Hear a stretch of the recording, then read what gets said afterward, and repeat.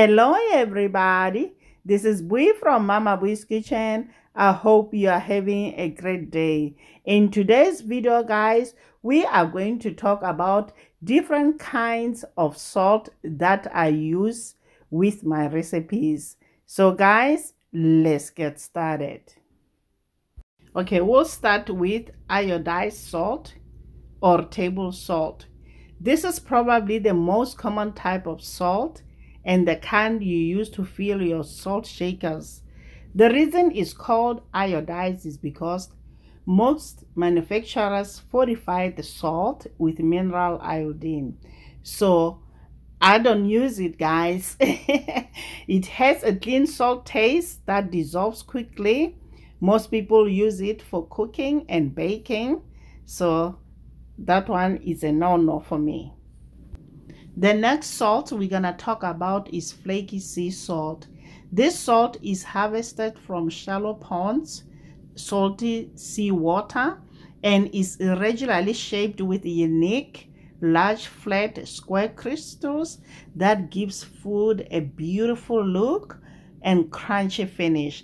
I like to use it on grilled steak, chocolate chips, and brownies. It works best as a finishing salt and it's a yes for Mama Boi's kitchen. Next salt is sea salt. This salt is made using evaporated seawater. It generally has larger and coarser crystals than table salt. I like to use it in baked goods, especially cookies, chocolate-based dessert, and sprinkling it on roasted vegetables and it's a yes in my kitchen. Next salt is kosher salt. This salt got its name because it is used when preparing kosher meat. It has larger, coarser crystals than regular salt. This is my go-to salt. I use it on everything, guys, because of its milder flavor and lack of additives. And the brand I use is Real salt, ancient kosher salt, is unrefined. You can buy it online and it's a yes in my kitchen. The next salt we're going to talk about is the Himalayan pink salt. This salt is harvested in the foothills of the Himalayan mountains.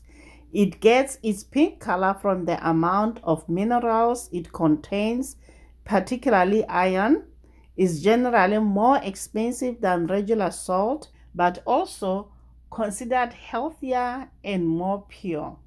I like to use it as a finishing salt. It adds texture and pops out flavor.